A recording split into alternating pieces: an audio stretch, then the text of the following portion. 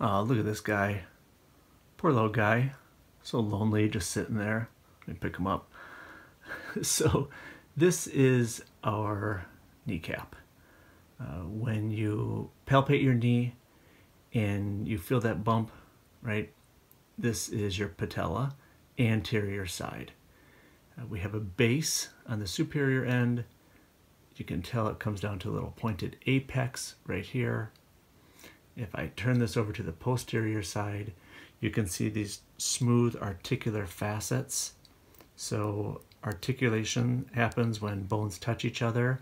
And sure enough, if you remember this giant, here's the proximal end of the femur. That's where your hip is. Here is the distal end.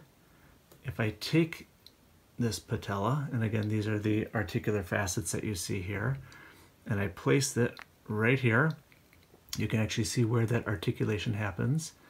Uh, this is essentially how your patella or your kneecap sits right on your femur.